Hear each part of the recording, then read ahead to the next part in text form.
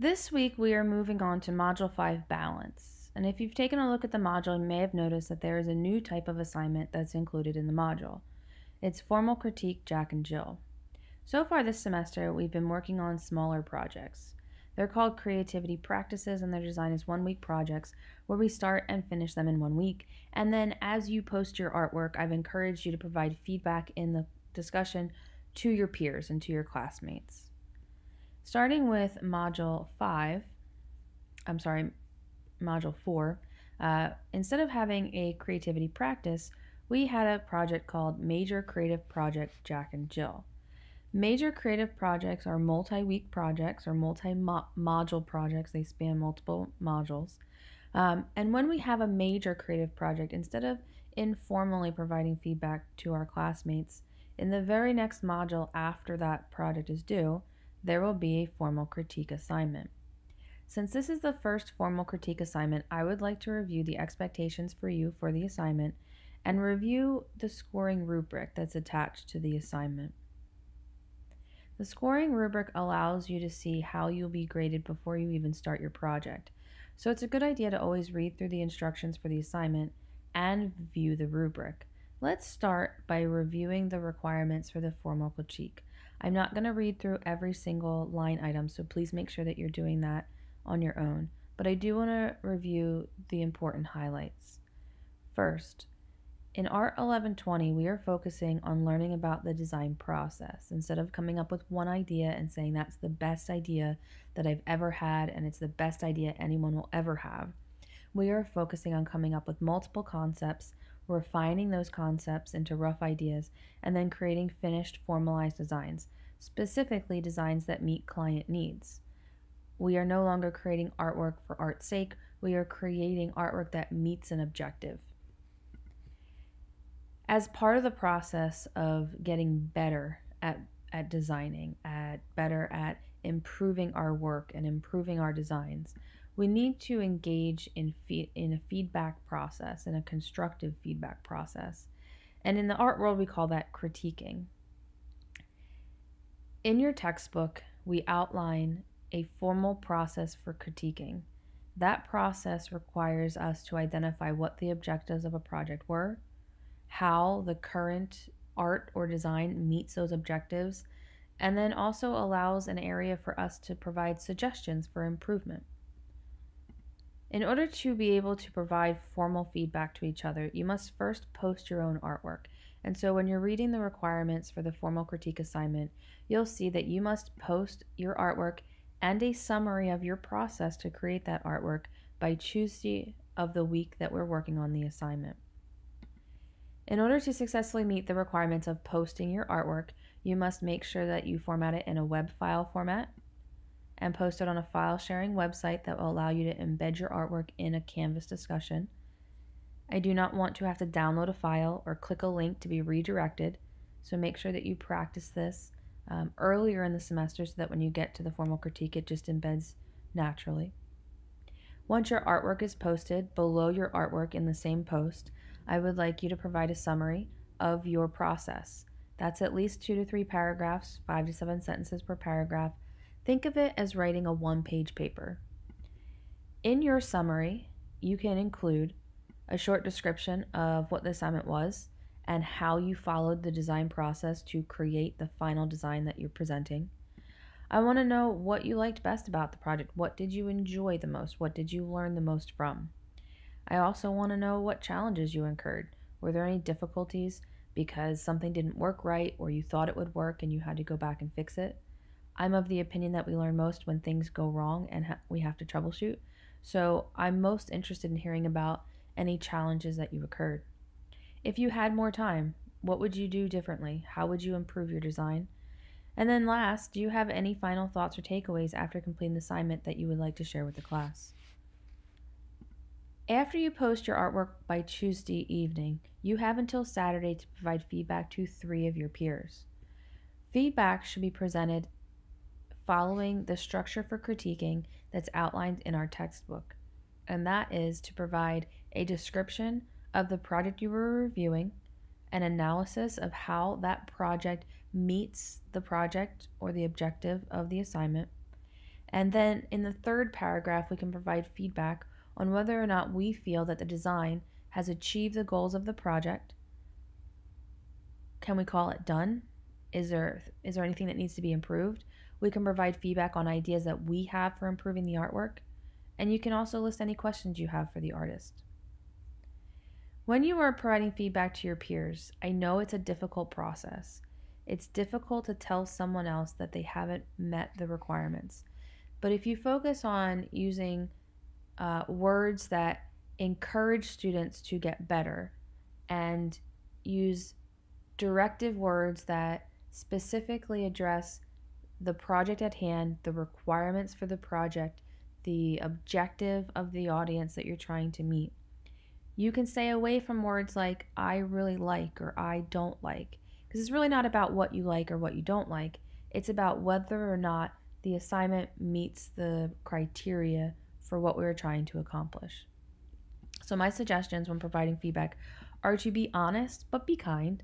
Uh, students know when you're lying to them. So, if you tell someone that it's wonderful and that they created the best Jack and Jill assignment you've ever seen, and they know that they've only spent five minutes on the project and they weren't really happy with the results, they'll see right through your comment. So, be honest. Sometimes they're waiting to hear that someone else recognizes that something isn't quite right and needs to be fixed. Be straightforward, but don't be mean. We're trying to help each other get better. Part of this class is getting used to hearing that things are not finished. They need to be improved and to learn new ideas to accomplish your goals. And then also stay focused. We critique based on the design problem at hand. Don't go off on a tangent about your personal opinion about the color blue and how you don't think blue should be used because it's overused in X, Y, and Z design. If the color blue meets the objective of the assignment, then we have to accept that it meets the guidelines. However, if you were designing something for a young girl's room and you would like to say that blue is not typically a color that's associated with baby girls, you can do that. Now, someone else might argue with you and say um, that the goal of the assignment was to create a progressive design that's unique that no one has seen before. And by switching the colors, having the juxtaposition of blue instead of pink for a baby girl, that might meet the project object- objective. But whatever your opinions are, you should focus on providing feedback based on whether or not what you're reviewing meets the project requirements at hand. So, long story short, focus on the requirements and not your personal opinions. So let's take a look at the scoring rubric. A lot of students will overlook this next step when beginning a project. You should always read through the requirements of the assignment, but if you click on the three dots in the top right hand corner of the page, you can show the rubric for the assignment. Every assignment that I give you in this course has a grading rubric attached to it. Your grade is compiled by the rubric for this assignment and then the rubric takes the points earned and dumps them into your grade book. And so, whatever you see on this rubric is how you'll be scored and graded, not only for this project, but in this whole class. Let's see if it will let me zoom in a little bit here.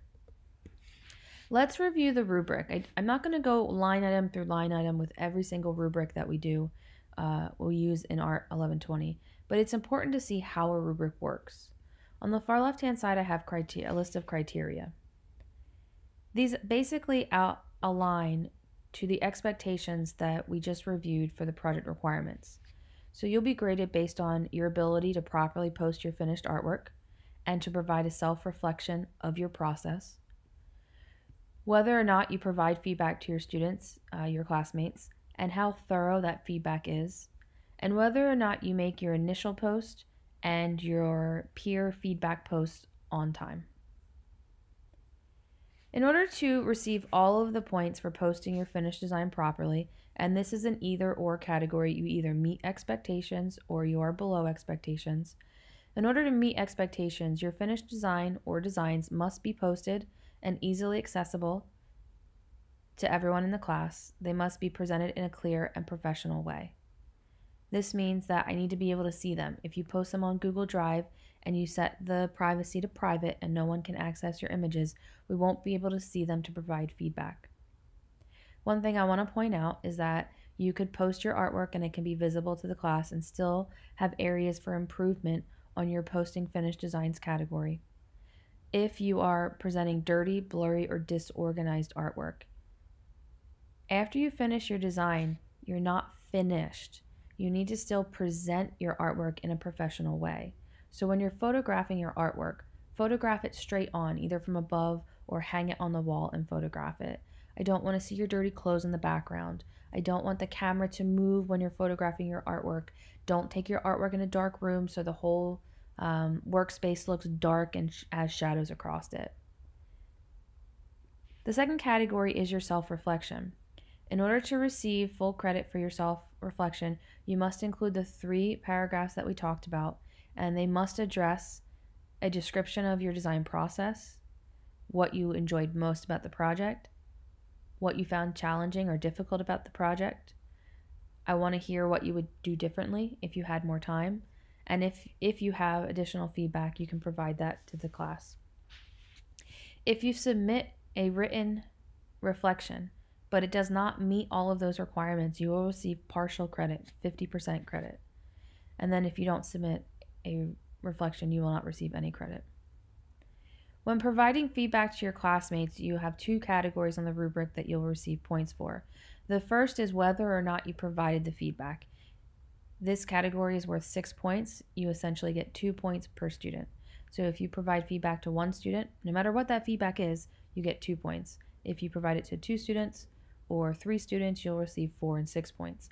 This category has nothing to do with the content of what you are posting. So if you provide feedback, you can receive a few points for providing that feedback.